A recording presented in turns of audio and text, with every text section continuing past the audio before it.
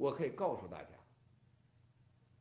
当在六个月以前，我知道从秦城监狱放出那三个人的时候，我就非常的清楚，共产党的蓝金黄计划 BGY 和三 F 计划的创造者和执行者，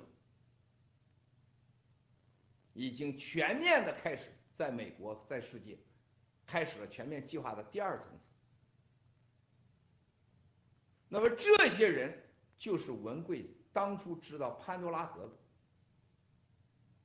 和三 F 方案、蓝金黄方案根本的来源。说实在话，过去的六七个月，我最担心的是这些人再被抓起来，我最担心的这些人不再执行这个计划。他只要这些人执行计划，美国的大选就会以荒唐滑稽的结果结束。你看到两个副总统了吗？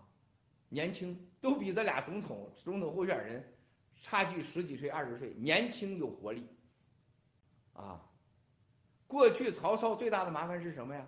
是那几个儿子曹植、曹丕，哈，时时刻刻怎么等着他爹死啊？这二皇上就等着大皇上死，你看美国的两个副总统，都多年轻啊，都不都都不是省省油的灯啊。关注两个副总统会很热闹，真的刚刚开始，战友们刚刚开始啊。我看我说完了吧啊。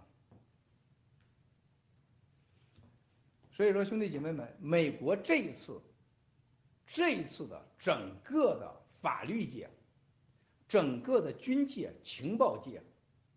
和所有的利益集团、媒体背后的所有大佬们，都会在最后的一刻彻彻底底的啊全暴露出来。谁和共产党有关系，谁和共产党有绝对的关系，都会被暴露出来。